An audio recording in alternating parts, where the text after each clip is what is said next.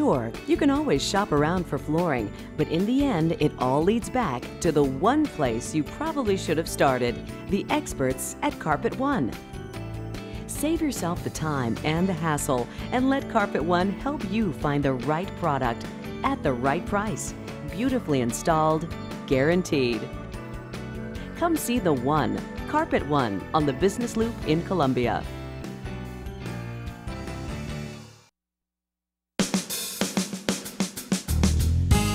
Morning and welcome to Radio Friends on Friday, November the 4th. This is really an exciting and nerve wracking time of the year. We're not too far away from Election Day.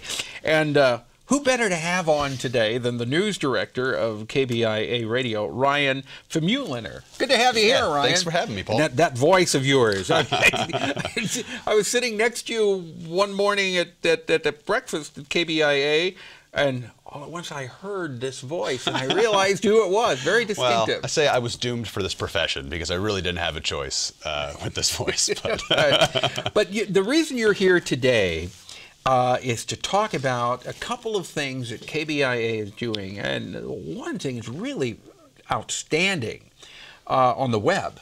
It's called what? it's called Access Missouri. Yeah. Um, so you can find it at accessmissouri.org or accessmo.org. We have both those domains for it. Um, so yeah, as you mentioned, like our the audience may be familiar with what we do uh, on the air, but online we put a lot of effort into our digital products. Mm-hmm. And this project we're talking about is um, a state government data project. So, And this really, this took a lot of work, a lot of research.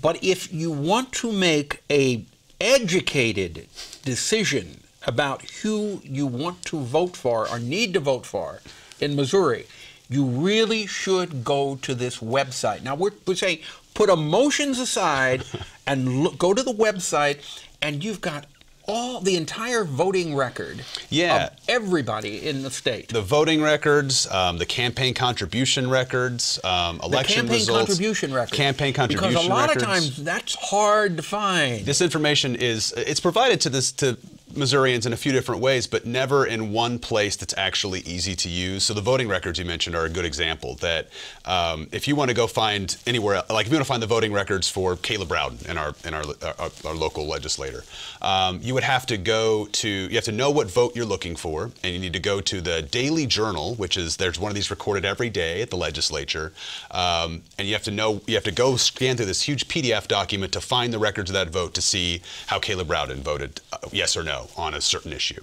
Um, so what we've done is um, gone through and created a scraper that takes all of that information off of those documents and puts it into our database and puts it in this one location where you can find all of that information in a comprehensive way. so then what you're saying is you can go to your your database on the KBIA website. It's actually a separate website called accessmissouri.org. Access Missouri. Okay. Yep. This is what it looks like.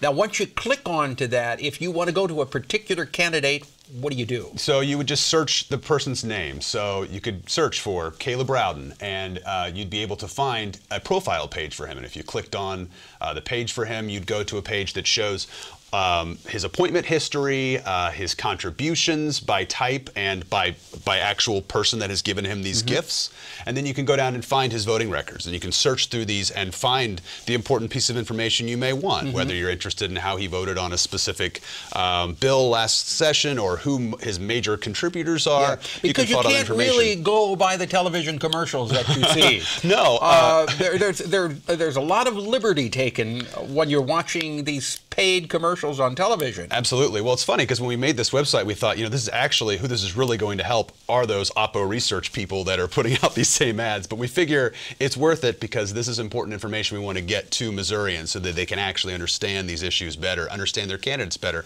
and like you said, make an informed decision. Which I hope, I assume, I give Missourians enough credit that they actually do want to make an informed decision and understand the issues and understand the person they're voting for. Yes, I, I, Um, I hope so because this is a valuable, it really is a valuable resource for all of us.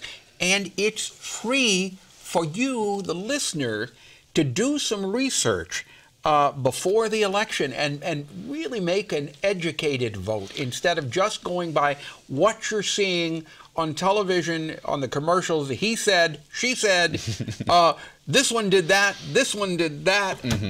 See what they actually, and then the contributions too, because a lot of times they don't want to see the contribution. Oh, and I mean, we're one of the we're the only state in the country that has no limits for campaign contributions or lobbyist gifts. We're the only state in the country that has no Only limits. on Missouri. those. Only Missouri. And so this type of information, the way that money flows through our legislature, is really important. No matter your political affiliation, the f- money plays a huge role in politics in general. And uh, in Missouri, and, and Missouri has one of the le- is the least restrictive in, in what you can do with your money. So this at least the idea here is this is in, hopefully increasing accountability and transparency in state government in ways that um, there's no, nobody has taken the time because it takes a lot of time to put all of this data together in one place where you can actually make you can actually connect the dots a little bit and try to figure out And what's I, going I on. really, honestly hope that people will take advantage of this Mm-hmm. Because this is so important. And you know, we've heard people say this over and every every election you have. This is the most important election of our lifetime. But I really think this one This- is, is, if not the most important, one of the most. Important. It's a big year. It's a it's a tumultuous time in our country. There are it's a general election, so we have all of the you know most major seats are up across the country. Um, on federal and state levels, so there are a lot of important decisions being made at every level, and at least on the state level, this will give you some information that you can't find anywhere Okay. else right now. Give them the web address again. AccessMissouri.org. accessmissouri.org. Take a, a- an hour or so before you go to vote and take a look at the people that you are considering voting for and see what they actually did. Put all the television commercials aside when you're on this website And go find take the a look at facts. what they go did. find the facts for yourself. They're there for you to find out and to understand and, and Yeah. make a good decision. Okay, now we've got about a minute uh, left here. One other thing we want to mention was My Life, My Town. Yeah, so this is one of those cool projects that you won't hear on the radio, but I'd love for uh, our audience to know about. Uh, My Life, My Town is a short documentary project, so it's actually like video and photos. A project that we collaborated with the Columbia Missourian on to document the lives of teens in rural areas, because we think that's a story that's not told very often, and particularly in Missouri, um, is a really valuable story, an insightful story that can tell us a lot of things about different issues in our communities and how specifically these rural towns are going to survive. As you see brain drain happening there, the best and brightest from some of these towns, once they graduate and leave town, they never come back to that town because there's not jobs there, they're not those kinds of things. So all kinds of issues come up in these stories. We, um, you know, talked to a, a young uh, a young woman in uh, Macon a few years ago who was the only uh, young woman in her high school who was out, an LGBTQ uh, uh, youth. Um, another story that we've told is a young woman who um, dealt with her parents have been dealing with uh, meth addiction and have been in and out of jail, and the impact that's had on her life. And she raised her, didn't she raise her She, sister? she's ended up having to raise her seven-year-old sister as she tries to attend college. So it's one of these important stories that help, you know, connects the dots on a lot of these important issues, and you tell it through a person's a person's experience, and it's really powerful. Ryan, thank you so much Thanks for for coming having by uh, as news director of KBIA Radio. Give them that website one more time to go to. AccessMissouri.org. Okay, accessmissouri.org. Check it out. At least before you go to vote. There's a lot of important information there, and it's all free of charge. See you next time.